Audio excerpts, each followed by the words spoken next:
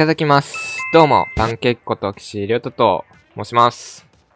人って、なんで傷つけ合って、裏切り合って、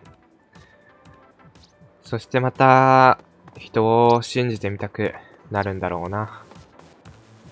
その答えは、僕のチャンネルを登録すれば。ってことで、えー今回は、えっと、ラストフェス、や、ファイナルフェスか。ファイナルフェス、スプラトカリプスの、えっと、画像についてちょっと考察していこうかなと思います。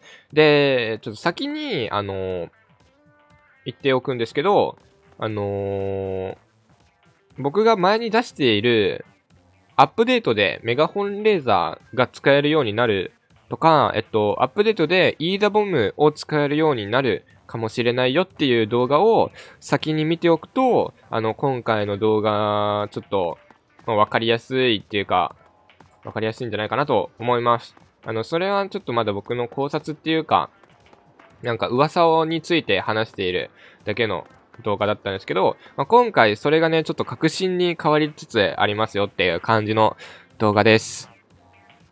えー、まあ、結論から言うと、あのーファイナルフェス、えー、どっちの世界がいい混沌対秩序のフェスで、えー、姫のメガホンレーザー、ヒメガホンレーザーとイーダボム、おそらくですけど、フェスのギミックか何かで登場します。使えるようになります。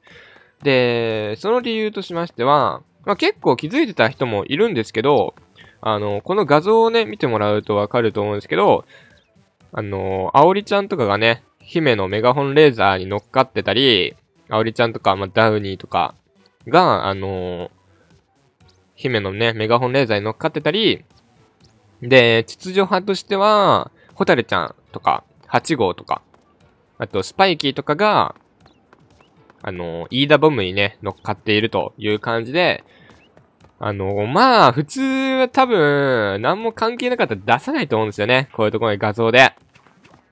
これはね、確実に、フェスで、この2つのスペシャルっていうのかなが、使えるようになるという伏線だと思います。まあ実際にかなり噂されていたので、まあ何らかの根拠があって、やっぱり噂されてたんだと思うんですよ。火のないところから煙立たないみたいな、そういう感じで。なんで、まあ、飯田ちゃんと、飯田ボムと姫のメガホンレーザーは使えるようになるのは確実だと思います。で、えっと、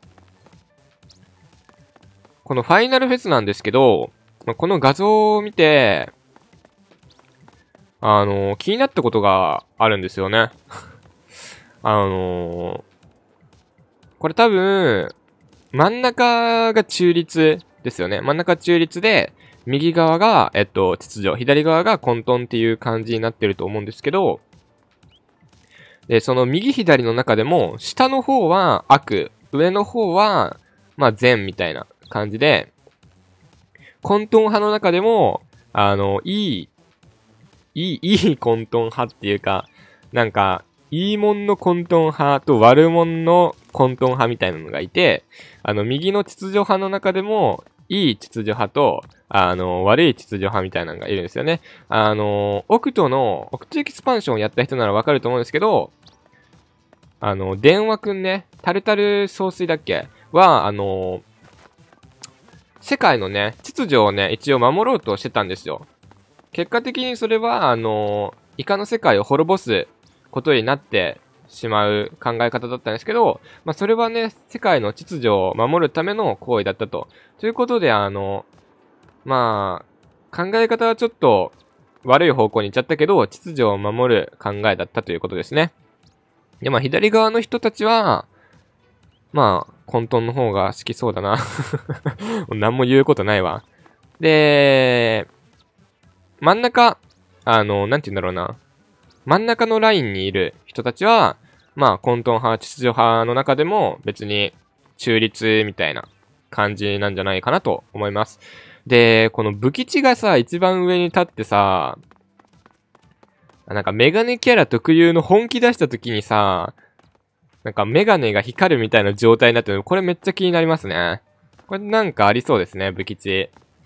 だから多分、おそらくこのお題は、スプラトゥーン3に繋がっていくとは思うんですけど、スプラトゥーン3がどうなるかが、この、勝敗に委ねられているのか、それとももしかしたら、スプラトゥーン、カオス、スプラトゥーンオーダー、出るかもしれないですね ポケモンかって。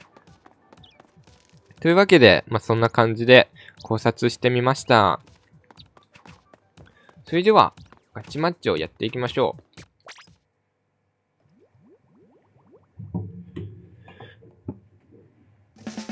ほいデモン海洋博物館ガーチあたりやっていきましょう。うわ苦手 苦手僕、ここ。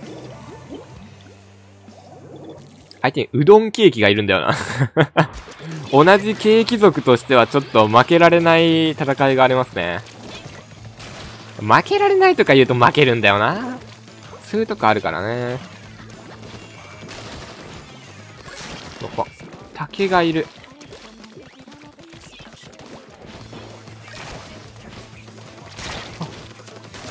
危ねえ。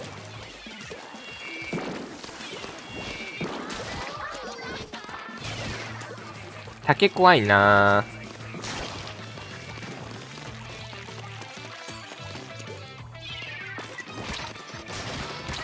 あれなんだ？あれ？クワットクワットってスプリンクラーだっけ？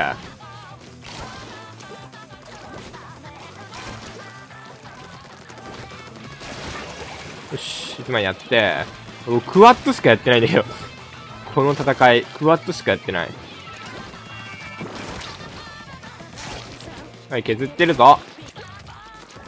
やべごめーん。迷っちゃった。うどんケーキじゃねえか。うどんケーキにやられちまう。待ってーパブロくんが抜けているのか、これ。くそ、パブロめ。パブロは嫌いなんだって。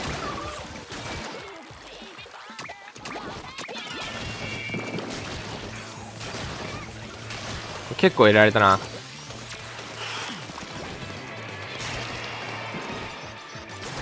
あれ。落ちちゃった 下手くそか僕。下手くそか？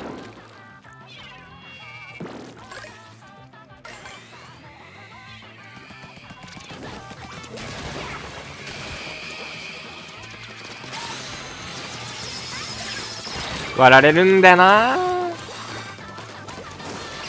アーマーがちょっと弱くなったんだっけ？確か。これは、持っていきたい、これを。ナイスザンピーンはい、入れていく。こういうこと。ほい、あれやっていく。終わるナイスー素晴らしいぜ。ナイスー。めっちゃいい試合だった。まあ、勝ったからなんだけど。ナイス。とりあえずね、うどんケーキのケーキ族に勝てたということで。まあまあだった。ふぅ。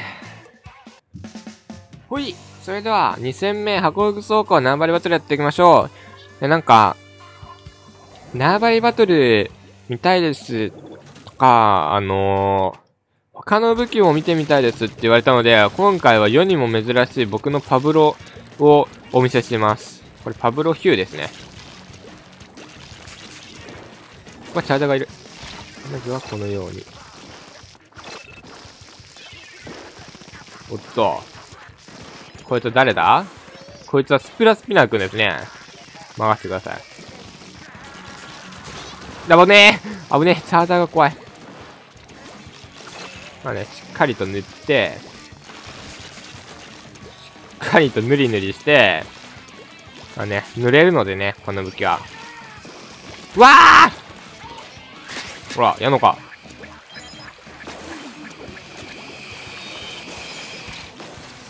帰りまーす。ヒットアンダーウェイで行きましょうね。どこ行った？ナイス。なんだこいつ 引かれたんだけど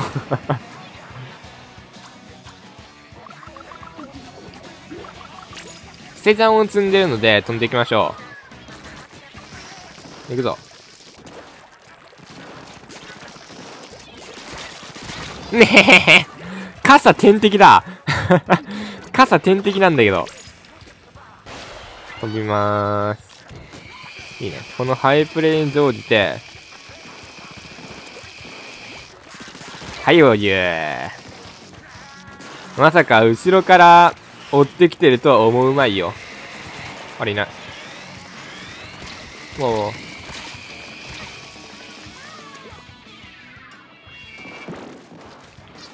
危ね。傘マジで怖いんだよな。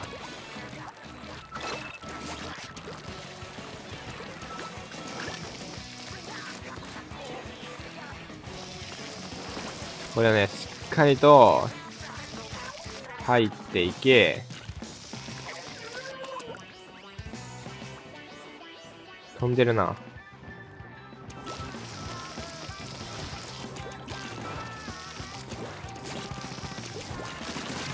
はい、2枚やり。待ってオッケー、やっていく。いいよ、3枚やり。ダメージ入ってる。ナイス。いいよ。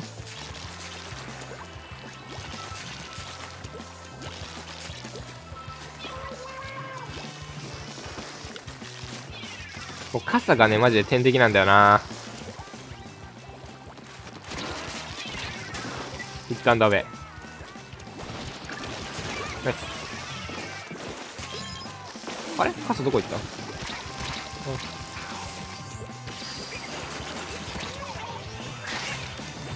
これバカで、やれないかさあ、でもどうだろう。とりあえず、縄張りは勝ったかな？ナイス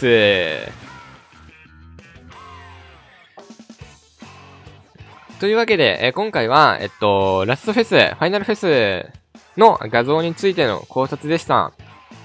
おそらくイーダボムと、あの、姫のメガホンレーザーが使えることは確定なので、まあ、ラストフェス、盛りだくさんでお届けしてくれるので、楽しんでいきましょう。4日間ちょっと長いけどね。